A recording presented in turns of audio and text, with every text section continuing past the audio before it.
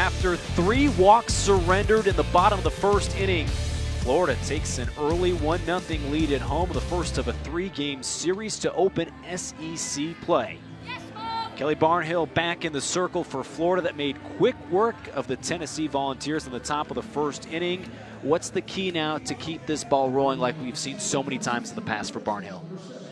I mean, Barnhill always has to keep it pitch by pitch. These Vols are great hitters. They're going to make adjustments, especially as an offense going up against Barnhill. You know you're going to get your strikeout, so you can't get down on that, but it only takes one pitch. Leadoff batter for Tennessee is Ashley Morgan, sophomore first baseman hitting 435 this season.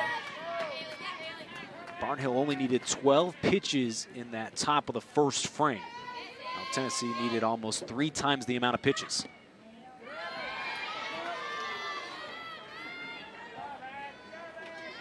Two 0 the count though. Don't see that too often with Barnhill. It just feels like it could be a bench warmer scenario where you basically just have Barnhill, a catcher, and one fielder because she's just so consistent.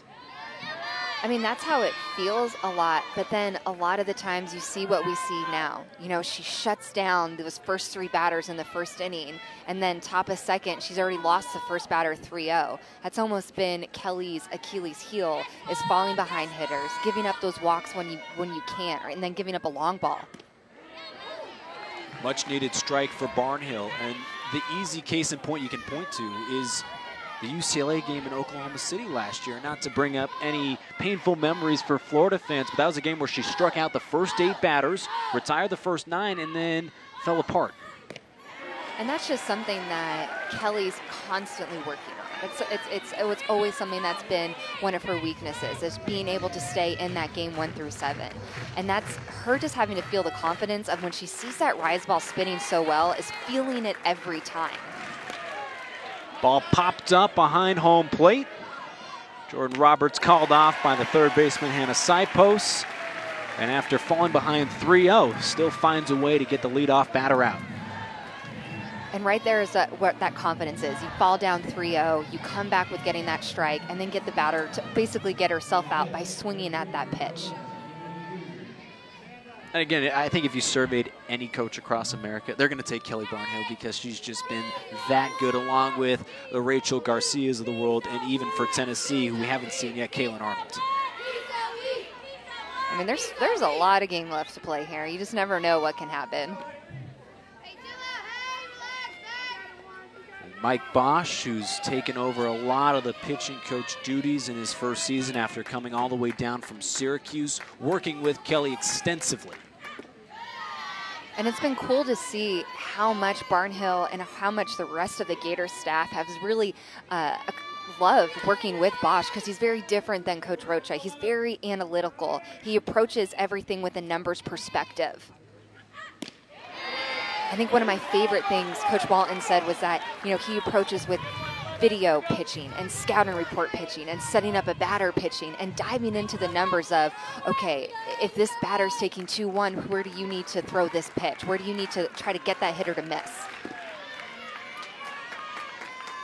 And so it's almost been a different thought process for Kelly, and she meshes very well with that because she's very analytical as well. That's what's funny too. How do you coach a player like Kelly Barnhill when you just come down in your first season outside of the SEC? Well, I think that's a big reason why Coach Walton felt felt strong about being bringing in Mike Bosch is knowing that heck, you know, the way that he thinks is very similar to how my number one pitcher thinks, and I think that she's going to thrive underneath her, underneath him after losing, you know, one of the best pitching coaches in the country in Jen Rocha. 2-2 pitch. Swung on and missed for strike three and give Kelly Barnhill her third strikeout already and has retired all five Tennessee batters.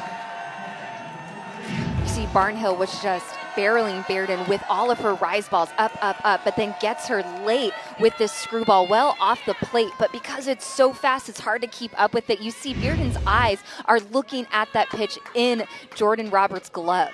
That's how uh, hard that pitch is coming in. Now up to Allie Shipman to extend the inning. The freshman behind home plates. The sister of former SEC Player of the Year Madison Shipman trying to continue the legacy left in Knoxville.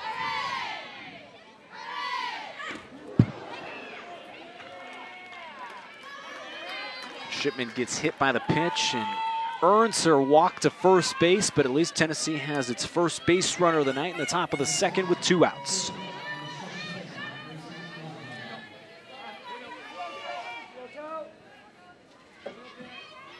Here comes Gracie Osborne making just her ninth start this season. Is her ninth straight start. And another freshman in the lineup for Tennessee, a program that was on the precipice of getting to Oklahoma City, just one game away, but falling in Athens in game three last year in the Super Regionals. You're going to see a lot of freshmen for Tennessee. And it's a good mix of senior leadership and the youth. And, you know, this youth kind of came in with a high maturity level. So they bring almost this new energy to the team because they're a very highly recruited class. Almost the same thing that happened in the first inning just happened again. All the Florida fielders thought it was time to go back to the dugout and get ready to hit. Have to wait at least one more pitch.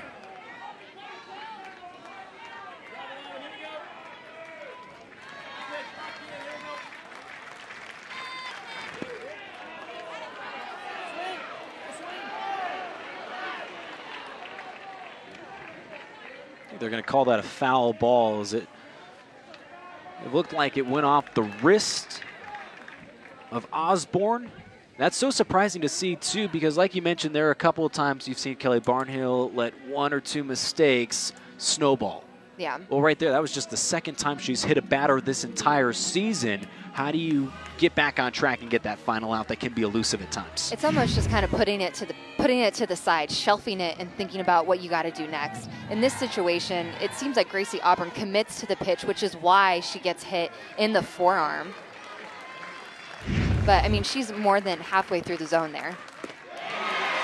Another strikeout for Barnhill to end the second, and Cook Kelly has the Gators rolling into the bottom of the second.